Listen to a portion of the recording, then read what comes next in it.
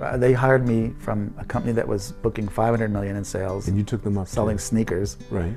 to a telecommunications company that had 10 billion dollars a year in sales. So it was a huge jump, huge, massive jump for me. And you know, and I was just, you know, and frankly, I was scared. to put it to put it frankly. Yeah. Yeah.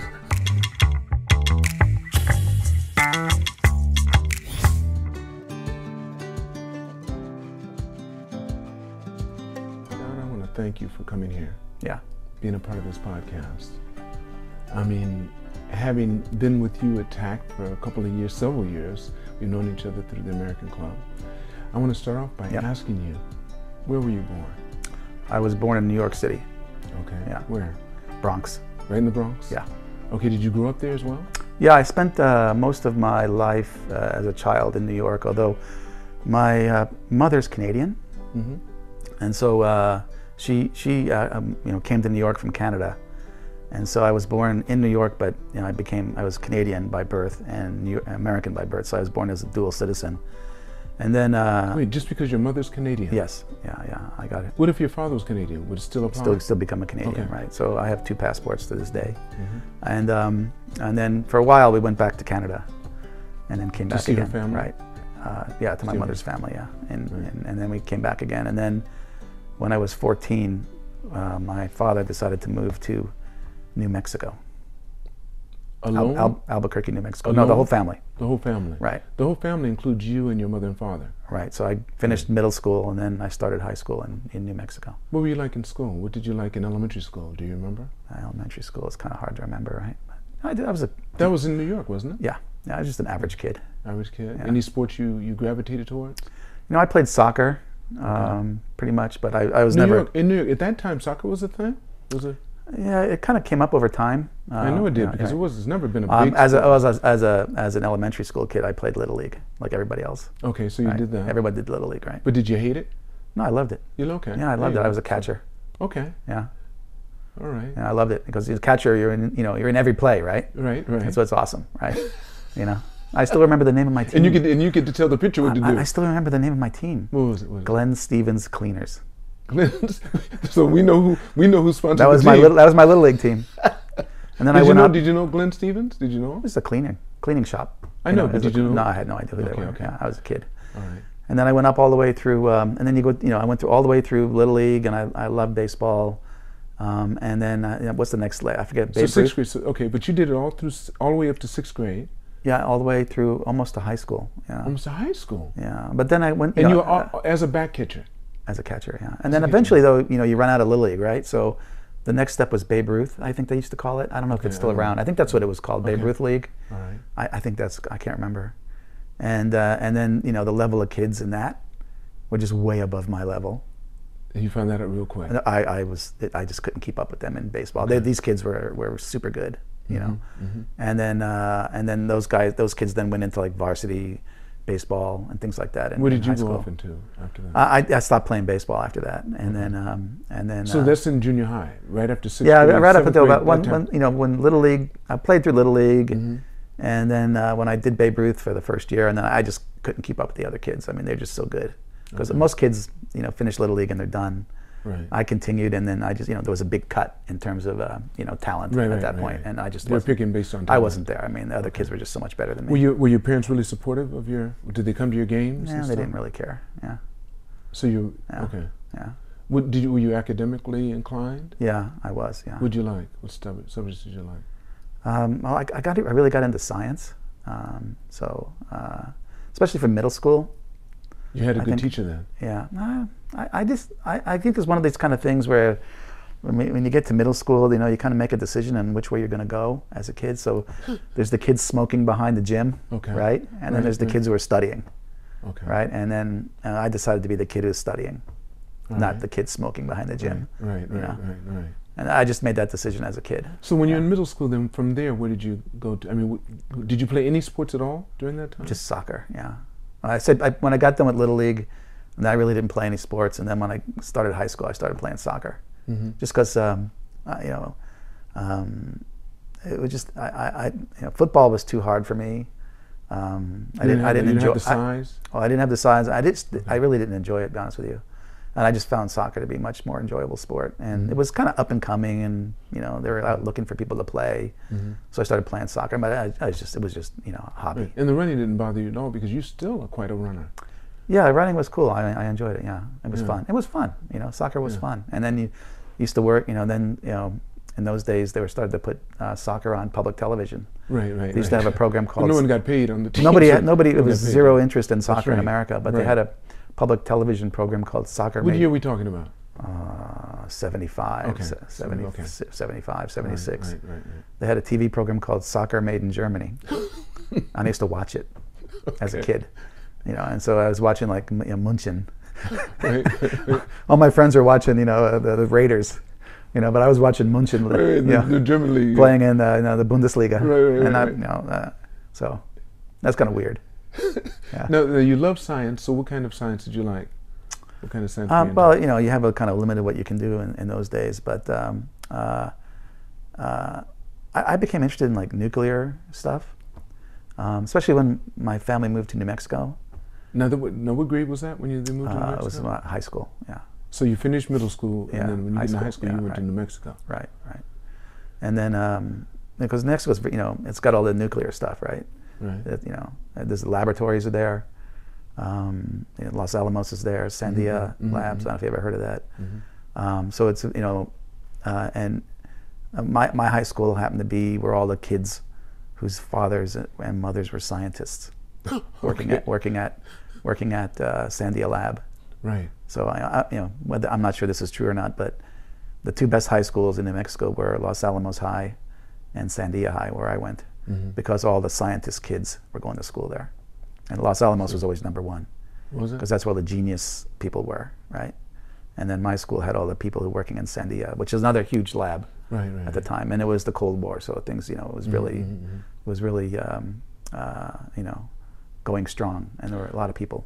When you have a school like that, I remember talking to one friend that went to a really high level school academically, and he said, to be cool in the school, you had to be a straight A student. Yeah, had to be a not my school. You had to be a student where Yeah. you really did, you excelled in your academics. It wasn't the sports. Those guys weren't the cool guys. It was the academics that were. Not my Your school. What No, definitely school not. Definitely not my school. In, in, what was it like in New Mexico? It was just a public school, a big public school. I think it had like I forget how many kids, maybe three thousand, a lot of kids. right. And um, you know, in those days, it was the '70s, so you had the different groups of people, right? So the jocks, right? The stomps, which What you don't have a lot of. Stomps were like the cowboys. No, The- we didn't have, okay, you were in New Mexico. You They didn't were in cowboy that, okay. hats All and right, all right. pearl pearl button Got you, shirts got you, and things like the, that. the, yeah, the string ties. right. yeah. And the hippies. Because Okay. at that time, you know, it was still the Yeah, Vietnam the- War. Yeah, yeah, okay. The Vietnam War was over in what '74, so I was right at the end of that for high school, Okay. right? And there was still a lot of that going on, you know. Mm-hmm. Um, and then uh, then there was like the the, the eggheads. What about the women lib thing? Because that was a big thing. Nah, that Not really, there. That really didn't happen. And then the eggheads, which was I was probably probably part of the egghead The- the- we, call them nerds, right? nerd. Yeah, now I guess you call it nerd. But there were no computers then, so That's right. So they were yeah. Actually, there were computers. It just, it just It started. just started. It just and it started. just started. right. Yeah, and I That's took right. a, actually took a programming class in high school, basic right? basic programming, okay. basic programming. Yeah, I, I was totally interested in, in going to university, um, and so I, I was. Did you have a particular university you were interested in? um, well, what I really wanted to do was um, so you know, I kind of wanted to escape from my my family and my home. So, uh, and my family didn't have any money, so I didn't have any money for college. There was no college fund or anything. like. I had to do it all on my own. What did your father do? What kind of work? My father's a day laborer. Okay. Yeah, he worked construction. Um, my mother was a waitress. Um, Okay. Yeah, uh, that's But they it. just had you. You're the only child. I'm the only child. Yeah, Right. right. Did they stay together the whole time? Yeah. How are they Yeah. doing now?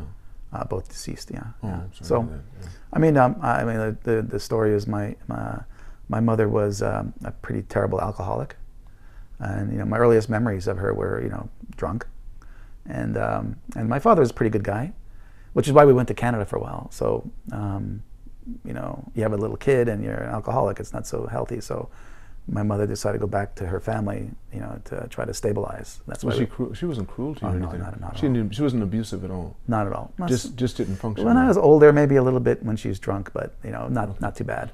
Um, and uh, and you know, things are a lot different now because now people recognize it's a disease. mhm, but mhm. you know, in the 60s and the 70s. it was like it was Yeah. shame.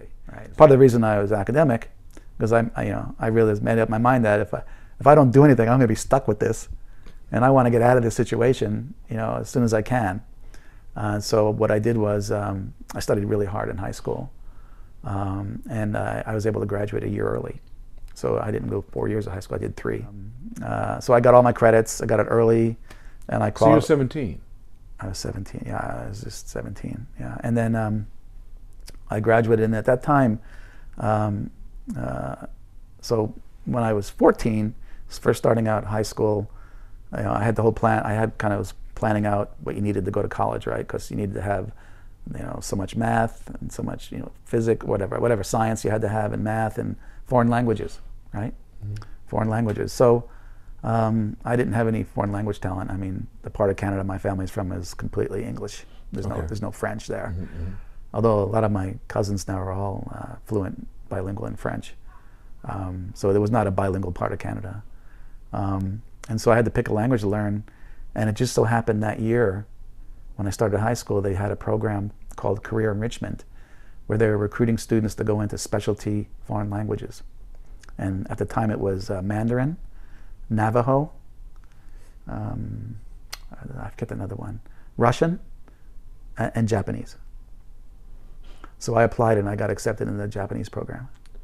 I knew I needed to have foreign language for college, right? So, um, and in the high school only offered Spanish and German, so I wasn't really interested in either one of those.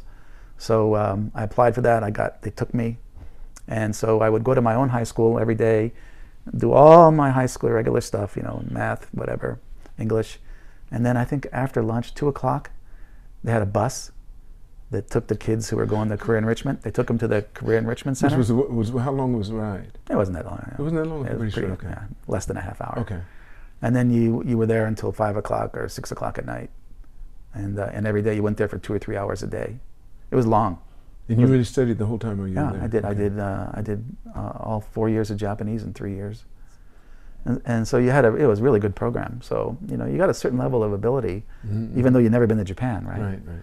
Um, uh, so and then uh, so when I, I, I that helped. That also helped me give me a lot of credits to leave high school early. So Okay. what I really decided I wanted to do in order to escape my family was um, I, I figured the only way I could actually go to college was to get a scholarship because I didn't have any money. Mhm. And um, you know, academic scholarships are super tough. My academics was good, but not that good. You know, I, I had, and I, but I had great test scores. I was like top two percent in America on my, on my uh, SAT and my ACTs, which completely shocked me. Even I didn't think I was going to be that high. I, I didn't think I was that smart a kid, but I, I prepared. I bought one of these massive thick books, and I prepared. Right. And every day I was reading these books and doing all the test programs and everything. And I came out super high. I mean, it's totally shocked me, right? I, I think it was a fluke to this day. Somehow the questions I guessed were all correct. Okay. That's what I think happened. That's how you feel, yeah. Yeah, and, you lucked um, out that day. I just got a great score. And, uh, and my academics was not, you know, wasn't straight A's, but it was, you know, 3.78, I don't know, something, like- Bs, something got like Bs, that. okay. B A's, a lot of A's, some B's, Mm-hmm. no C's. Um, but I did pretty good in, in high school. So I wasn't really there for an academic, but um, what, I, what I really started to shoot for was military. Military, right? ROTC. ROTC or the Naval Academy or the Coast Guard Academy. That's what I wanted, right? Uh, so I started to really focus on that. You know, I started to work out a little bit to get myself more physically fit. So when I um, I graduated 17, and then I had I needed money, so I joined the Coast Guard as an enlisted man, Mm-hmm. and I went to boot camp and got sent to New York City, where I was uh, based on Governor's Island, which is in the middle of New York Harbor, doing Coast Guard stuff, right? And all along the line, you know, so I was a 17 year old kid in the Coast Guard. kind of weird, right? Uh, but I totally enjoyed it because it was like 1977 in New You're York. independent. yeah, plus it was 1977 in New York City. It was crazy, man. Tell me about Yeah, it. it was crazy. It was kind of a nadir in 77 for New York, but that was when the kind of the subculture for like uh, punk rock and and the club subculture started to come out. Mm-hmm. So I got to actually experience that a little bit as a 17 year old. And you got involved? You really got I- yeah, I well, you couldn't. You can only go so I- far because you're a yeah, Coast Guard. I was in the? Coast Guard. I couldn't do much, but I was able to go out and and, and, and you know enjoy the clubs. things like that a little bit. Uh, you know, I turned 18 there as well. So uh, at those days, as the 18 was legal for for alcohol, Alcohol, right. right. So then Right. you know more opened up to me. Mm-hmm. But along the way, so in the meantime, while I'm in the Guard, uh, I'm applying for the Naval Academy and Coast Guard Academy and uh, ROTC. Um, I, I happen to know a U.S. Senator, um, so I was pretty much lined up for an appointment from the U.S. Senator. How'd that happen? Just out of Um, curiosity, how'd you get to Yeah, when I, when I, one of the things I did in high school was, um, I think from I was 15 and, a- uh, 15 and 16 years old, I began to work as a volunteer for the political campaign of a U.S. senator uh, in, in New Mexico, a guy named Harrison H. Schmidt, Mhm.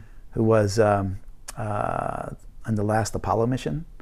And he worked, um, I think he was the second to last person to walk on the moon.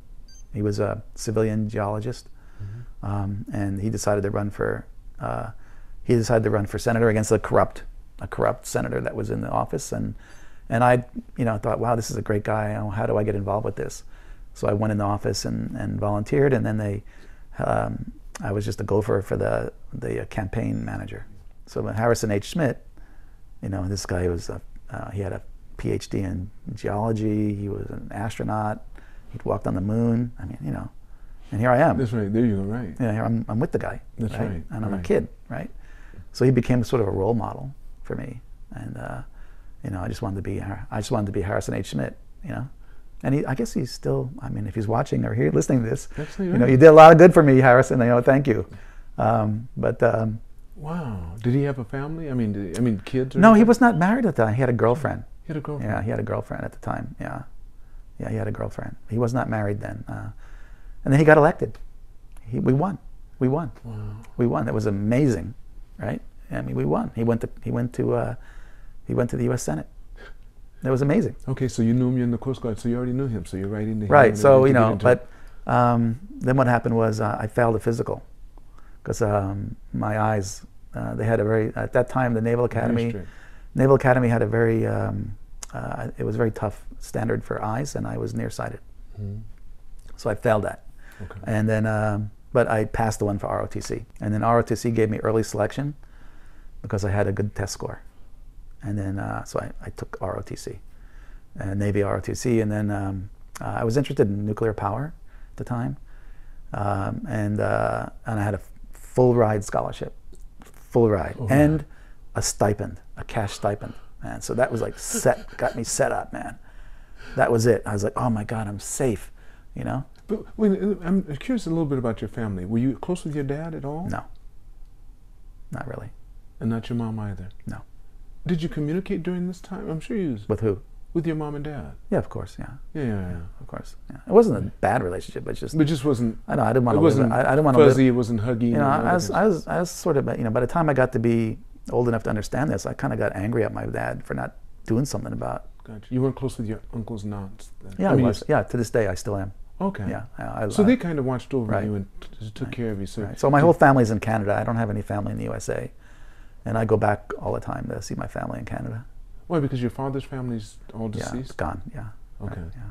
So you're really close with them. So you have favorite aunts because she only had sisters, right? Yeah, still alive. Wow. Yeah, still healthy, doing great. Yeah. Yeah, so I love going back to see them That's neat. in That's London, neat. Ontario, and uh, outside Toronto. Mhm, mhm.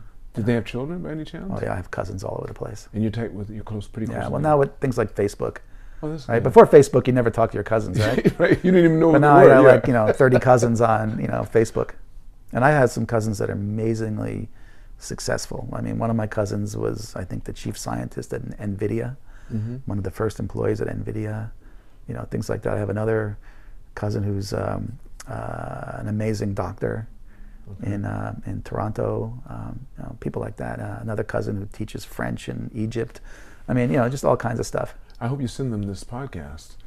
Able to So- listen. Yeah, so but they're all they're all yeah. all amazing people. Oh, that's Yeah, beautiful. they're all amazing people. So, beautiful. yeah. They, they sound. You made me sound like they're females. Or any of the males? Uh, no, male and female. Yeah. Oh, male and male and female, female. okay. Yeah, yeah. oh, that's interesting. Male and female. That's right. good. Obviously. Okay. So you get you get your full ride Yeah. and a stipend.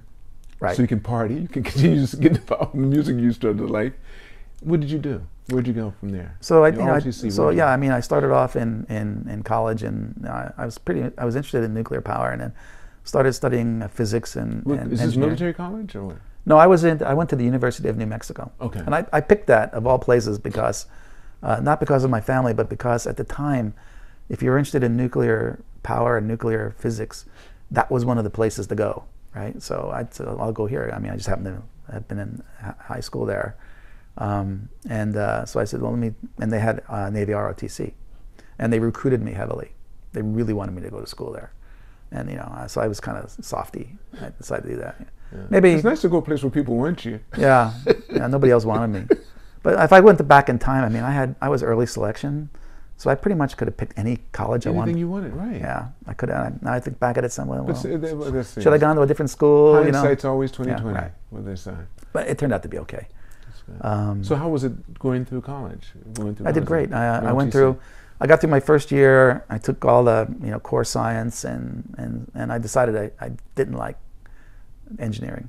as much as you thought. I, you I did. didn't like it at all. I just it just uh, and then I took a I took I took a statistics class Mhm. and, and and there was a lot of business school students in there and and then so I decided well, let me try a business class. I took a I took a class in finance and I loved it. That clicked. Yeah. So then I just said I'm done with this engineering. I went to I went to I went to school of business. Is that right? So I, I studied, uh, yeah, from so my sophomore year, I took all, I, I got a business degree instead of uh, engineering degree. So and how'd you so yeah. how'd you apply that in the military? Because you're still in the service. You still have, you owe them time. Right. So yeah, so I was, you know, I was a midshipman, and uh, I did my time. I did my cruises. Um, I did all my training. What was the rank? You came out as a lieutenant. uh, en- ensign? What is that equivalent to? It's like a second lieutenant. second lieutenant. yeah. Okay, that's what I thought. Yeah. I got commissioned in 82, 1982. And that takes you to captain, or what do you call? No, it? no, I was commissioned as, you know, so we, while Oh, you're yeah, in no, right, right, university, okay. you're, com- you're called a midshipman. Right, right, right, right. and then uh, then you get uh, and because I was uh, I was a, a scholarship student, I became a regular officer, not a reserve officer, and um, and uh, you know I really wasn't sure what I wanted to do in the military, and you know kind of wanted to be because I had this guy, you know, who was my role model, the astronaut. So I mean, I want to be a pilot, right? But then my eyes, um, you know, I just Kept my you out of eyes, that, I right. still I was nearsighted, so uh, I couldn't pass the physical for aviation, and so then, what am I going to do? So I thought about it, thought about it, and when I was on some of my training cruises, I met lots of different people, and one of the people I liked was the uh, they had what they call in the Navy the supply corps, sort of the quartermasters of the Navy, and I got Right. to know them, and I really liked that. And then they started to try to recruit me, and so by the time I became a senior, you know, they were saying like, yeah, you got to come join us, and then I so uh, I requested that and I got it, and I became a Navy supply officer. Okay. And then I, I got stationed in uh, Yokosuka, Japan. So your Japanese came in handy. You Right. said- That that started to fit in. Did you plan that, or did you just? No, they kind of set you, you know, somebody, you know, as an ensign, you're nobody. And um, Right, right. and But he so- had to look at your record and what you'd done throughout Right, your so- so- and he saw. right. So they have a bunch of open billets, Right. and they probably saw on my record. I, Mhm. I, I, I was at that, by that time I was pretty fluent in Japanese, hmm and uh, they saw that, and um, they said, "Well, we'll send him to Yokosuka." And there was a, um, a ship based in Yokosuka. I was on a, a ship, You were on a Navy ship, a ship. but you were in the Coast Guard. No, by this time the Coast Guard had released me. So when I became a, so when I got the Navy scholarship, uh, the Navy then processed the release from the Coast Guard, Okay. and then I transitioned to the Navy. So I went from Coast Guard to Navy. Yeah, they just you know did an administrative Right, right. transfer, right? Uh, so then I went to a, a frigate based out of Yokosuka, and I was there for three years, um, Three almost years. three years, almost three years. Me. I did that. I got I got a transfer to Italy after that. I went. I spent a year and a half in Italy, and then uh, then uh, I was going to leave What the kind of Navy. ship? Same kind of ship. No, no shit. This time I was at an air base Okay. in Sicily. I got sent to Sicily. So right. How many? Of, you- how many of you in the Navy were part of that? Oh, it's, a, it's a pretty big air base. It's a Navy air base Yes. in Sicily, Oh, it was a Navy Air Base. Yeah, called Sigonella. Okay. okay. and uh, I was put in charge of the fuel facility there Mm. for uh, aviation fuel and um, things like that. So How'd you like that? that was awesome. That was a fantastic uh, experience. Was it? Yeah, yeah. What made it fantastic? Tell me the parts that you really Um, remember that. Well, the reason I, I got sent there, I, it was um, they'd had a pretty big scandal. It was run by a civilian. Um, the fuel facility was run by a civilian uh, employee Um, I guess what they used to call GS employees. Mhm. Um, They and still are, yeah. um, they were completely corrupted, and they started uh, stealing fuel and selling it into the civilian economy in, in Italy, because um, uh, aviation fuel and Navy aviation fuel can can be used as diesel fuel, and uh, fuel in Italy is highly taxed, extremely expensive. So you could basically sell this and make a lot of money. So they'd been doing that for a few years, and they eventually got caught, and the whole scheme collapsed and um, everybody got arrested, and you know it was just a massive, big, huge scandal. And I was the guy that got assigned to come in and clean Take it up. over. Okay. Yeah, what year was this? Eighty I was going to say five, like the 80s, yeah. 85, 85, yeah. So I got the guy. I was by then I was a lieutenant in the Navy, and Mhm. uh, they sent me some training. I went, all right, uh, and then I went in to clean it up and got it all nice and done. That must have been. Must have been. You must have been very popular when you when you came in. That made you. Yeah, very they were popular. waiting for me. I'm sure they were. Yeah, they were I'm waiting sure for they were. They it were was a, it was a it was a massive. had to mess. be It- It, was a mess, and uh, Ah. and so they were waiting for me. So that all worked out. Then I was going to leave the Navy after that, um, and I applied for you know, grad school, and I got accepted. And uh, I was, you know, pretty much ready to leave, and they called me up and said, "Hey, you know, you did such a great job at Sigonella. You know, what's your next step in the Navy?" And I said, "Well, I'm going to resign." Uh, why are you going to resign? Well, I said, "Well, you know, I really don't want to go back to sea." you know, because that's just not my thing, you know. And I think I can achieve things outside the Navy, and I just don't want to go back to sea. Um, and I was looking at probably you know three, four more time, you know, sea assignments. Still, you know. you're right. Um, so I just, you know, I kind of thought, well, if you're in the Navy and you don't want to be at sea, you know, why are you in the Navy, right? Doesn't make sense, right? So they said, well, you know, you did, you did such a great job. We got two opportunities for you. Why don't you think about it?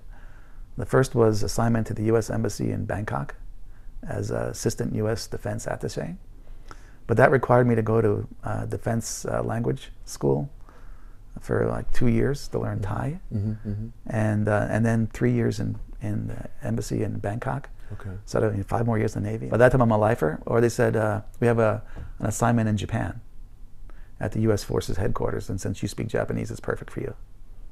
So I came back and I said, "I'll take that. It's a great, idea. What a great, what a great idea." And I thought, okay. So I forgot about grad school. I put that off, and I said, "I'm going to go to this place." And because at that time, Japan was booming. It right? was most definitely Japan is number one, right? before the bubble. Yeah. It was booming, right? Yes. I said, "Okay, I'm going to go back It's here." 86, 87, something like that. Yeah, it's 86. Yeah, Yeah, yeah. 86, It was 86. Yeah, It was around that, 86, 87. Yeah. Um, so I'm going to go back and I'm going to do my job there, but I'm going to set myself up to leave the Navy. You're still and- getting up. Yeah, right. I'm going to use that. T- it was like a two-year assignment. I'm going to use that two-year assignment to uh, to set myself up for you know the next thing. So I came back. Uh, I, I came back to Japan. I worked for the commanding general. I was a Navy guy working for uh, the commanding general, who was an Air Force guy, and his staff. And between me and him, there was a Marine Corps colonel and all kinds of different people. It was mixed up. I wound up being assigned to the uh, work in the uh, at that time uh, the defense agency Boeicho in Roppongi when it was, Mm-hmm. Right, was right. it Roppongi? yeah, it used to be. Yeah. It's, it's where um wait, um Midtown is right, right, now. right. That's That- all so I, Midtown I used to work there. Uh, you Yeah, know, yeah, I pass that all the right. time. What I always wondered what it'd be like to go in there because you remember the entrance, you go straight down. When you come in the entrance, right off the street, straight Right. down. I used to say, I want to go in there someday. Next thing I know, it's being all taken down. Right. It was always kind of weird though because you had like right. the, the Ministry of Defense at that time they call it the Defense Agency, and then right across the street was like the biggest party area in in, in Japan. You know? rocking the house. That's right. So I, I got a chance. You know, I worked there with the Japanese, uh, the the joint staff, and uh, uh, quite a bit. And um, and I got to ride the helicopter back and forth to Yokota Air Base from Hardy Barracks Hardy Barracks, many times. The helicopter is still flying. Still, they're still doing the I- same. same. thing. I think it's the same. Same Huey. It's the same. Same Huey. Huey. It's same Huey. Same Huey. come back every single time. So and, and the rule was if you're a colonel and above, you could fly in the helicopter. You you made it to. I was not a colonel. I was I was nobody. I was I was, lieutenant, I was lieutenant, but Right. um, I would just say colonel. You know, colonel. Someone's flying, and I would just hop in with them. So they would let me fly with them Okay. as a passenger. You know, because Right, right. it was I had to do something in Yokota Air Base, go back and forth, and it was at those times it, it was terrible. I mean, there were, the the highways weren't as developed as they are now. Oh, so that's right, it took forever to go from Yokota Air Base, which is where the headquarters was. Right. right. The headquarters was at Yokota, out at Fussa, right? Mm-hmm. And then you know the It middle of. Tokyo. It still is, yeah, the middle of Tokyo, right? So it took forever That's right. to go back and forth. So the helicopter took like you know, Especially it depends on the times too, and still Right. the same way. just It's not 15 minutes on the helicopter. Yeah, that's right. Yeah, same way. right. So I used to try to jump that. So I had many times going back and forth in the helicopter. And then after I was there for a few months, I put my resignation in. I did some other projects for the military uh, at that time. Then I got out, um, found a job. But where, the, where, where was you? Where were you discharged from? From Japan? Uh, or you just did you go to Travis or some some base in the U.S. Uh, the, Na- the Navy, uh, the Navy. In uh, San Diego? No, it was Navy. Um, they had a personal personnel center in Yokosuka. Oh, so you, you discharged here at Yokosuka? Right. So they just discharged me the closest place to where I was, and uh, I got my papers here. Were you married? No. Did you know your wife? No. Okay, so tell me now. Now let's Right. go a little bit further. Right. Let's- I want to bring you up to where you are now. So then I got a job. Um, Okay. I got a I got a job, and, and um, I was I, my roommate in Italy. Um, we rented a villa uh, before I came to Japan for the U.S. Forces headquarters. mhm. My prior my prior assignment in Italy, you know, uh, I lived off base and I had a roommate, and he was a he was a pilot. He left the military, got a really great job, and when I got out, he said you should talk to this guy I know who's a headhunter. He specializes in Naval Academy. You're not Naval Academy, but maybe he'll talk to you. So okay, so he introduced me, and the guy said, "Hey, you know, John, you you got some special skills. Maybe I can do something for you." And he he happened to find um, a really big American company that was looking for uh, people could could could speak Japanese. And you started working for whom? Uh, Philip Morris, Philip Morris. right? Philip Morris Management Group. They hired me in New York, and I was uh, hired as a corporate auditor. Okay. an auditor, right? So I went from this like running the fuel farm, fuel facility and being all this military stuff and riding a helicopter to being an auditor. So you did that for how long? Well, I, I think I was there for a year and a half, and they assigned me to jobs where you had to have some Japanese ability. Mm-hmm. So I got sent out a couple of times to Japan. I did work here, and uh, um, and one of uh, one of them happened to be a, a, a joint venture with Ajinomoto Mm-hmm. Mm-hmm. that kind of blew up. Uh, they had a lot of problems uh, and uh, some um, you know internal kind of management problems. And so at the end of the job, they said, "Well, why don't you just stay?"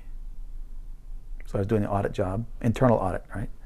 Um, and at the end of the job, uh, the management said, "You know, can can you stay here and not go back to New York?" And you said, Yeah. yes, I can stay. okay. Yeah. How long did that Because the audit job was really tough because you were traveling like 80% of the time. Right. So I actually never lived in New York. I mean, I was just traveling, right? So, um, so then I, I said, okay, I'll take the job. I took the job. It made me like a, a financial analyst. You know, it's a pretty low level job within this organization and all kinds of people at top of me. I was nobody. And then I just worked my way up step by step by step over six years to eventually I became the finance director and the chief information officer at the end of six years. A Japanese company. A joint venture. Joint venture. Okay. Yeah. How, what was the percentage? uh, 50-50. General Foods was the and and uh, Ajinomoto. Okay. The You were the trying to do that with Phillips and didn't the happen. name of the company was Ajinomoto General Foods. Okay, and at that time, Philip Morris was a massive conglomerate. Mhm, mhm. They owned Kraft Foods and General Foods and Miller Beer. You know, not just uh, tobacco. That was one part of it, but Mhm. I worked mostly in the food businesses. So, Mm. uh, and this was General, the old General Foods Okay. business, right? So, so then I worked my way all the way up to the top.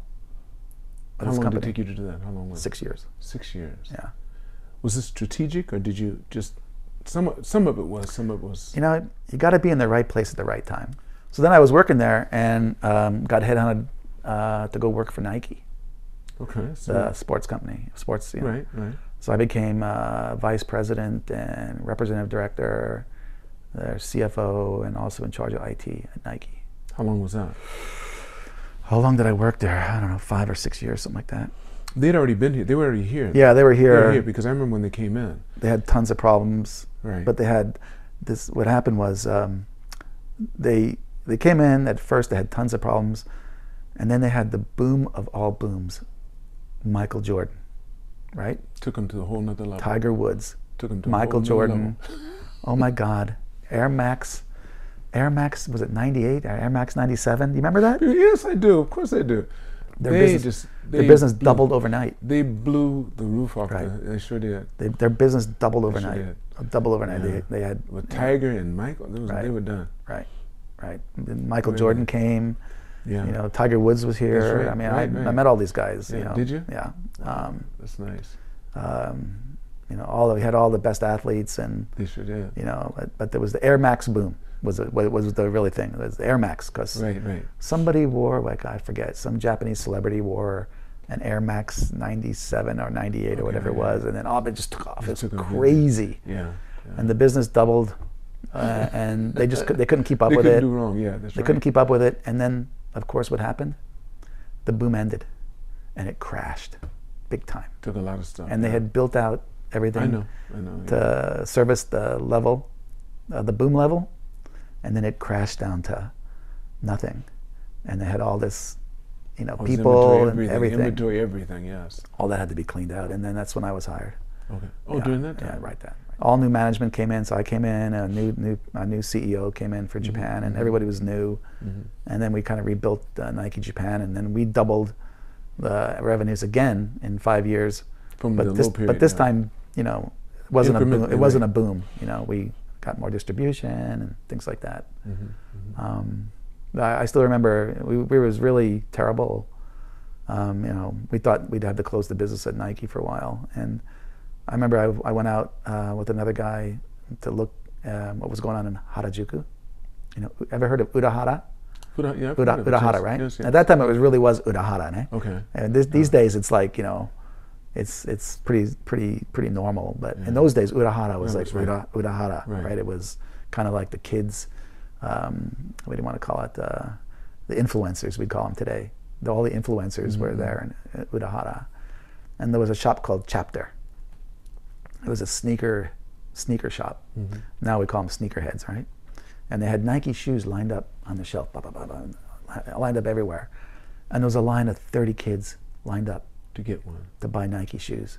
And I said, Oh, we're back. We're back. Find out what they're buying. what are they lined up for? Yes, right, right, right. And then, uh, you know, and all of a sudden, and that was the spark. And then, That's you know, good. things came back and we were able to build it up into a really good, sustainable business. And today, I think Nike is huge. So I got to meet Phil Knight. You know, Phil Knight had a real soft spot for Japan because Yes. um, when he established the company, you know, he was selling shoes out of the back of his car. Uh, and he started the, you know, he had the vision for Nike. His first, uh, the first money he got, investor money, was from Nissho Iwai, the Japanese uh, trading company. Right. And um, you know, I think to this day, if you go to Nike headquarters, they have a huge banner that has the name of the Nissho people from Nissho Iwai, Oh, wow. and he still, you know, they still pay homage to Nissho Iwai, even though Nissho Iwai is gone, right? Uh-huh. Um, they still pay homage to those people, and, and he really respects them, even to this day. You know what what Nissho Iwai did for Nike. That's yeah, beautiful. yeah, yeah, That's it's, it's beautiful. amazing. It's an amazing story. Mm. So leaving Nike, you went where? So then I, I got headhunted to, at the time it was JPhone. I had one, yeah. right? JPhone, right? Uh-huh. and Japan Telecom was the parent company. It wasn't Vodafone, but they were buying shares and they were, they were moving. You know, they were moving in Japan and they were they had set up an office and they needed management. And uh, so um, uh, I interviewed and I got the job. They hired me from a company that was booking 500 million in sales, And you took them up to- selling sneakers, Right. to a telecommunications company that had 10 billion dollars a year in sales. So it was Yeah. a huge jump, huge, massive jump for me. And you know, and I was just, you know, and, and frankly, I was scared. to put it to put it frankly, yeah. Yeah. I was scared. Coming from 500 million to and, it- billions. and into telecommunications, which I, I really didn't know much about. Okay, I had no technical knowledge in telecommunications. Mm-hmm. And so, uh, Right. and, and by the way, Nike was a great experience. Uh, fantastic, fantastic. I, I loved it. People used to ask me, you know, if, if you work for Nike, do you got to run? And I said, yeah, you do. you do. so, um, uh, so I went there, Japan Telecom, and it was a very messy situation. There was still J phone. They had, I think, at the time there were eight different J phones, Mhm, each in, in regional areas of Japan, because it was part of the JR Okay. rail. It was owned by them. And I was sent in, it was they had some you know joint venture kind of thing, and it was all really difficult situation. The, the shareholders didn't get along, and um, uh, there's all these J phones all over the place, and it was JR versus the British, which is kind of a tough, you know, cultural gap. You know, JR is one of the most traditional Japanese companies you can ever find, and you know, Vodafone had that was an innovative, you know, uh, mobile phone, growing like crazy at the time.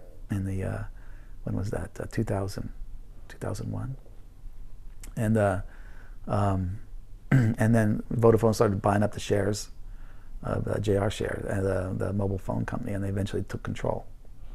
And then, uh, so took about, I got there six months later, they took control.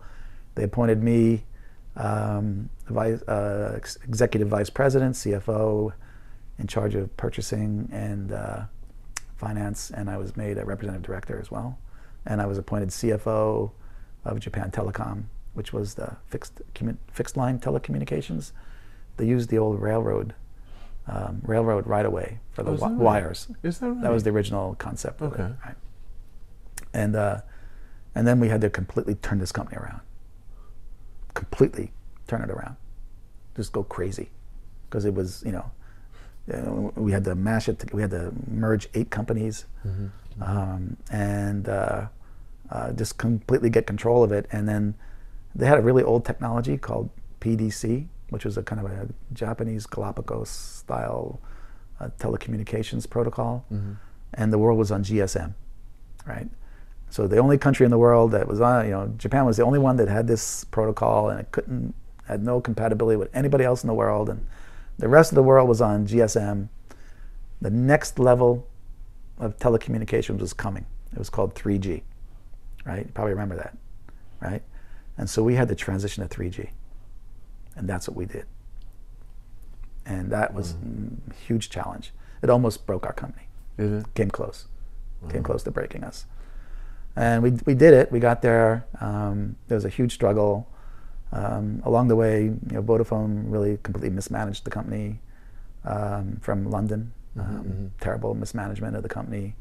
Um, and uh, eventually, at the end, uh, after six years, I was there and I CEO, a, a very, we had a very close relationship. Um, you know, a guy named Masa Son came knocking. Son son, okay. He came knocking and said, "I want to buy your company, and uh, you know, name your price." And he gave us an offer on Christmas, on Boxing Day, 2005, on Boxing Day, which is the day after Christmas, right? Uh, I was in Bali with my wife, and the offer came through, and I went right back to Tokyo. Uh, and myself and the CEO, uh, a guy named Bill Morrow, we spent the next uh, five months, 24/7, working this deal. And we sold it to Sonsan. We closed the transaction. We got his offer on the 26th of December, and we closed it on the 28th of April 2006. And he bought it for two trillion yen, Two trillion yen. which at the time was the biggest M&A deal in the history of Japan. What was it worth in dollars then at that time? what's that, twenty billion dollars, something like that, depending on the exchange rate. Right, right. Yeah, so um, that was the biggest deal ever in the history of Japan at that point in time. Yeah, now I think and it's been part of that. it's been trumped many times since then. oh no, but still, right. that was the biggest then. You must have been on a real super high. It was crazy. I bet you- what did you do then? So you, your wife, you told your wife, look, don't worry, baby. We'll go back. I guarantee if this goes through, we'll have the best vacation we've ever had. Right. That's what did you do? That's What you basically what happened. So I mean, I, I kind of misspoke. Yeah. At that time, my wife wasn't my wife. You know, we were we were together for Which many. is your wife now, Yeah, we were together for many years. right? and and we were going to get married, you know, in uh, Meiji Jingu and at the uh, Tokyo Union Church, and have a big, you know, reception finally for her family and everything, on the first of April, Okay. while this deal was going on.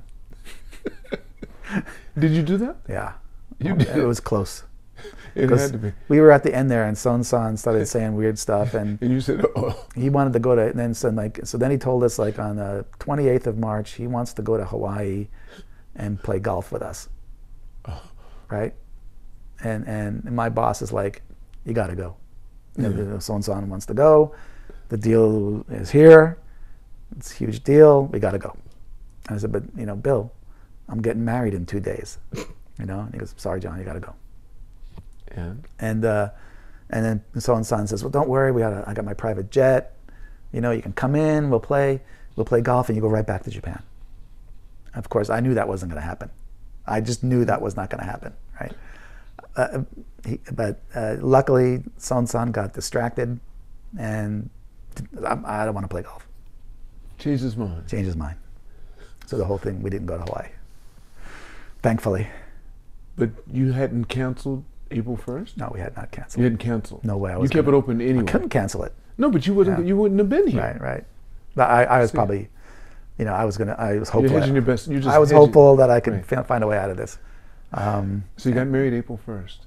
right, and all the SoftBank people came, and, and not Son didn't come, but uh, most of his man, a lot of his management team came, and uh, it was a really great. We had a really great party. How many people were there? Uh, hundreds. Oh, that's Yeah, nice. hundreds, That's yeah. nice. Um, then uh, So how many years does that make now that you've been married? What year was that you got married? 2006. 2006. Yeah. Okay. So, Yeah, be, so-.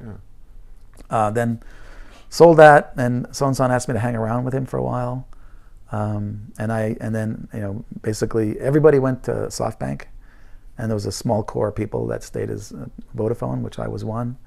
Uh, um, uh, I looked after the the company for many years afterwards. Uh, what was left of the company was still the, the there was still a, a paper company left in Japan. I looked after that for ten years afterwards. Uh, but in the immediate aftermath of that, Son San asked me to help him with a few things, which I agreed. Um, so I helped him, and then I went away. And uh, I got a job offer at that point to work for uh, Nikko Cordial Financial Group, which was uh, an investment bank, um, a Japanese investment bank, as a uh, as their CFO. Right. Um, I took that job. Uh, um, they were in the process of being acquired by Citi, Citigroup. So Citi was part of this deal with me, and they'd had a scandal, an accounting scandal, and everybody got fired. And so they asked me to step in and try to help them out, fix it up, which I did. And so that was 2007, and then the financial crisis hit. At the, the Lehman financial crisis, it was just amazing time, um, just rolling crisis after crisis. Luckily, Nikko survived. Um, Citi almost didn't survive. It was bailed out by the U.S. government. Many things happened at, at Nikko, and we and I, you know, we really worked hard to keep the company alive, and uh, we, we we were successful again. And um, then uh, Citi decided to merge Nikko with its business in Japan, so Nikko lost its independence. It became Citi, Citi Nikko or something. I forget what they called it, and they don't they no longer needed a CFO, and so they asked me to stay on as within the Citi business in Japan. Uh, but my, you know, personal is like, you know, I, I, I'm, I'm the CFO. You know, That's okay. I'm not the deputy CFO. I'm not something this. I'm not something Mhm. that. I'm the CFO. So uh, they said, well, we need your help with some things, a few things, and and I, I said, okay, I agree to do this for another year, um, basically selling businesses, um, selling investment companies that they had. Uh, so I said, yeah, I'll, I'll do that, and then I agreed to after, after one year I'm leaving. So I left after that and um, decided to chill for a while. And I'd done pretty good financially, so I was okay. I could take some time off. Um, so I spent time in Singapore. I, I took my wife and I moved to Singapore. But you had kids along the way all this time too. So your kids went to school because you have Yeah, two boys, right? right. That's right. And they were in school in uh, YIS, right? Did Um, this affect your family any? Because you were under, see, you're a fixer, so you come in and doing all those companies. You then you handle pressure very well, obviously, else you couldn't do this job, because it would make most people just break immediately as soon as they re- reach a point where, and you have to be at the edge of it when it looks like Yeah. it might make it, may not make it, and then you have to tell people they have to go. Oh, there are times, Lance, where I, it was 50-50, man. You felt that way. I had- I had so to how did you handle those? I had, well, there are times? when, especially with Citi, which had a very, uh, very, a very thin decision-making process, right? And and and there's also a, a culture of people didn't take responsibility for the decisions. They they want you to make the decision, I got you. and then if it was wrong, then you hear the one then you got zapped, and then Right, they, they stepped in. right? So um, that was the kind of culture at Citi. So there are many cases actually when the crisis came up, where people just tried to go on the ground. Mm-hmm, You know, that was the culture. Okay. And but I was CFO, I couldn't go on the ground because everything was coming at me. Right. You know, um, and so you know you're just making decision after decision after decision after decision, and um, and some of it was you know kind of reputational stuff. You had to, you know, you, you had to be honest and you know not not compromise your values. That's right. Um, it was you know totally stressful. So after that, you know, taking some time off was good, um, and you know, uh, the Citi survived with the government's help, uh, but now it's uh, you know since then they completely left Japan, right? Um, Basically. yeah, they left. They sold off the business. Mm-hmm, mm-hmm. The Nikko business was sold to SMBC, and they closed the bank. The retail bank is gone after 100 years. You know, so Citi's pretty much gone. You know, um, you know they had huge. I mean, they had 125 members in the Tokyo American Club at one time. Now I think they got one. Mm. But I, I, the managers I worked with there were some of them were super. Still, I'm friends with some of them. Really respectful. Some of the some people I worked with. My two superiors. Uh, Doug Peterson, who's now I think he's very successful with S. I think he's the CEO of S and P, and um, uh, T.J. Della Pietra, um, who's the chief legal counsel, was the guys I admire so much to this day. Because of their integrity, or They were great, and working with them was really good, and they were smart. Um, Mm-hmm. Uh, and so uh, I really uh, uh, enjoyed that working with them, and they were very helpful to me uh, at the time because I felt I was in this investment bank that had a lot of problems, and um, the investment bank CEO was not really doing anything, and and it was all coming down on me, and I was able to resource help from TJ and Doug, who gave me a lot of support, and uh, and we were able to clean up many many problems, and and survive along the way. Yeah, it was kind of crazy. after all that, did you? Is that when you really decided you're finished? I decided I wanted to take some time off to kind of decompress right, because right. the you know that was really highly stressful period of time. Mhm. You know, um, so I decided I just went to Singapore for a while and uh, and then took some time. I took about a year off and then um, uh, started talking. I started to get some calls to work in private equity Mm-hmm. um, and the portfolio companies. So, um, and that was really appealing, and it was completely different. So I started doing that. I, I worked in uh, one company with Bain Capital, and I, I did a second portfolio company with um, Permira, which was kind of an odd thing. Um, How so? well, I, I kind of always looked at myself um, as this like you know big corporate guy, right? The CFO of you know Vodafone, right? The CFO of Nikko, you know, investment bank. So then um, I was offered uh, to go on the board and to be an executive of uh, Sushiro, Kaiten conveyor belt sushi, right? Right, right, right. So at first, I'm thinking like, wow, it's a big step down, you know, and it's in Osaka, right? Okay. So I'm like, I'm this big corporate guy, this big office, you know. I even had a panic button in my office at Citi, you know. So if some crazy guy came, I could push the panic button, and then the guards came, you know. Uh, I never actually had to do that, so. Okay. luckily, luckily. but I had it. I had, the. I had a panic button. I believe you. Okay. And I was like, oh, the panic button. Should I push it? You know, I used to, I used to joke with people about it. me. Are you okay? Can I push the button? They're like, no, don't push the button. You know? don't push the button. I, I want to push it. I'm gonna What see happens? I've never pushed it. I've never pushed it. I want to push the panic button. Um, uh, it was super interesting company, you know. The Kaiten Kai- sushi, right. Kaiten Kaiten sushi, sushi, right? right. And Kaiten sushi, and, and at this point in time, you know, I was financially independent, so I had nothing to lose, and and super interesting company, and and uh, the the private equity firm, I knew them, and I had a lot of respect for them, and there's these are super super smart people, so I took the job, and uh, wow, was that fun! that was so much fun. How long did it last? I was there for five years. What, what, what made it fun? Well, it was, it was a really old. It was a company was started by a couple of sushi chefs from Abeno in Osaka, like a real old part of Osaka. And then their two brothers, and they grew, you know, they were pretty successful, and they found a high quality, low price conveyor belt sushi uh, business model that was very successful. The brothers eventually had a argument, and uh, you know, and they split up, and that caused a lot of problems with the company, um, ownership problems, and then you know just kind of like people problems, and which uh, eventually resulted in private equity uh, buying buying the company. The firm with I worked with was the second private equity owner, um, and uh, what they wanted to do was unlike other private equity companies, they they were completely focused on revenue, grow this company, make it successful. That was their number one goal.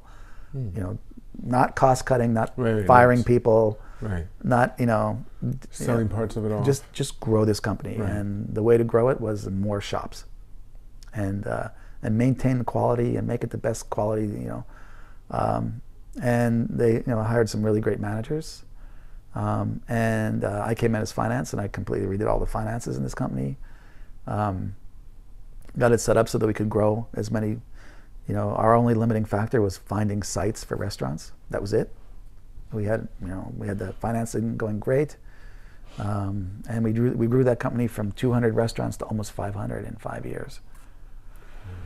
And uh, we, I, along the way, uh, we had a, we had some restaurants in Korea, and uh, that had trouble. So I volunteered to be the CEO of that. I, I as an interim CEO, I did that for two years, uh, uh, but based in in Japan. Uh, I set up uh, I set up the company in Taiwan. Um, now I think they have like 20 restaurants in Taiwan. oh, they're still going They're- strong. they're- oh yeah, they, they're in Singapore now. They're in Dubai, in Hong Kong. Um, so uh, uh, and then so we did that, and then you know it's private equity owned.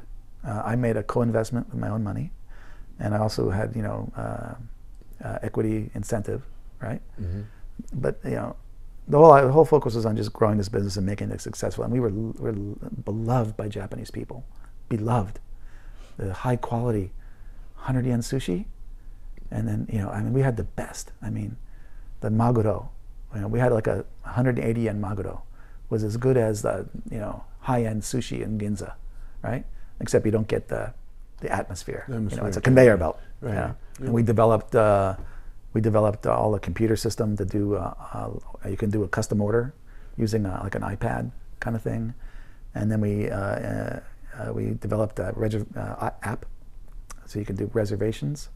You can you can order ahead of time and order a seat ahead of time, and because we were so busy, the number one complaint we got from customers was uh, they had to wait too long to get in. Mhm, So we, we introduced a, a reservation system, and um, and now you can go there. I, I was there a couple months ago. What's the name of it? Uh, Sushiro, Sushi Roll. Okay. right? They the entire your entire experience there, you never have to actually talk to an employee. You can check in automatically, you can sit down, order automatically, and you can pay automatically. It's pretty wild. But that's 100 yen sushi world. It's not top end Right, right, right. Ginza sushi world, right? Right. Because that's 20,000 per person per meal, and uh, sushi versus, row is versus a 2,000 thousand yen right, per right, person per meal, right? like that, But you come out full. Right. And we actually would go there, and we'd say, okay, let's let's see if we can eat, you know, 3,000 yen worth of food. We'd try that occasionally, you know. Let's see what we can do. Uh, we just couldn't eat it, you know. We, we couldn't eat you know. We couldn't spend 3,000 yen. You know, I mean, you, if you buy beer and stuff, you could do, but just food. Uh, it was it was so cheap and so good. It just, you just couldn't eat it. uh, You know? I got you. Right? So you pile up the plates, right? Um, well, then in uh, 2017, we did an IPO, uh, and uh, uh, we listed on the Tokyo Stock Exchange, and we had a massively successful IPO, massively successful IPO. Uh, we got a 1.2 billion dollar valuation, Mm-hmm. um, and uh, um, super happy. Uh, the private equity firm that owned, they sold, I think at the time, 70% of their shares. They held 30. Eventually, they sold out the remaining 30, and the shares, I think, have since quadrupled in value since then, probably more. I, have, I don't even watch it anymore, to be honest with you, because I, I, I left the company in 2018, uh, and then they, uh, the shares along the way had quadrupled, they doubled, tripled, quadrupled. We were just, it was amazing. Um, and I, I think now I look at them now. They're doing they're doing new concepts. The CEO is so amazing, um, and the people working there, the chefs and the food service people, are amazing people. Um, complete respect. And I got to I got to spend time in Osaka, which, you know, now I love Osaka. And uh, It's great. I know the food's great. People people don't know. The food People spend great. time in Tokyo. They don't know how great Osaka is. I know how great it is. My medical equipment business. I had to go there, and the first thing I liked was the candidness of the people. They don't mess around. They Right. talk money first. That's the first thing they want to know. Right. How much? Right. The next thing, the food is delicious. Right. and Completely it's- different- Oh my god, it's completely culture different- there is like the heart and They- soul of Japan. Tell me about yeah. it. It is. It is. There's no doubt. Well, that's all. The, well, the main companies are from there. Right. All the Honsha are right there in Osaka. Right. But it keeps that roughness. It's just. Right. it has that grit to it. It's not. They don't talk about the weather in Osaka. They don't know how much it's gonna. How much? how much we're gonna make. Yeah. That's all they want to know, and I love it. Good. Well, I at the time I, I maintained my home here. I, own- I own my own home here in Tokyo, and I Mm-hmm. maintained that. And then I rented a small room in uh, Osaka. I was going back and forth, uh, you know, every week. Uh, I would go down usually on Monday morning early, Mm-hmm. and then depending on the schedule, I would come back on Thursday. Uh, sometimes Wednesday, sometimes Friday, and sometimes just spend the whole weekend there. Right. My wife would come down, and we'd spend time in you know in Kansai together. Um, so she'd come down maybe for a week or two, and um, but it was kind of tough being away, you know, for every week for three or four days a week. Uh, that was the only thing I didn't like. Mm. Um, and that's my wife would come down, and we'd have fun, and it was awesome, you know. And I was working pretty hard, so even if she was around, you know, you know so John, look. Only because of the sake of time. Yes. We're gonna have to. We're, you're gonna have to promise me one more podcast. Not one more, but I want you to come back on. Sure. Because we're not finished. right, I want to keep, keep. I'm going to put this down here. Yeah. I want to take. I want to take us up to where we where you are now. There's so much more depth you have to what you're doing. But before we end this, what would you like to leave as some of your final words for this podcast to the audience? what would I like to leave with the audience? Uh, Yeah, anything. Words Yeah, I mean, the one thing I, I have to say, um, you know, you have a lot of challenges and some crazy things can happen in, your, in a business career, particularly in Asia. I always say, you know, number one thing that you have to maintain that you should, you can never lose, because you can never recover it, is your reputation. So, make sure you guard that. How do you do it? What are some of the things you do to guard your reputation? Well, you know, sometimes decisions come up, you know, and you have to make sure you make the right decision. You know, Between smoking in the back or something like that. to study? That's right. Something, something like that. Yeah, something like that. People ask you to do strange things, you say no, and and it, you know, it could it could cause you pain, right?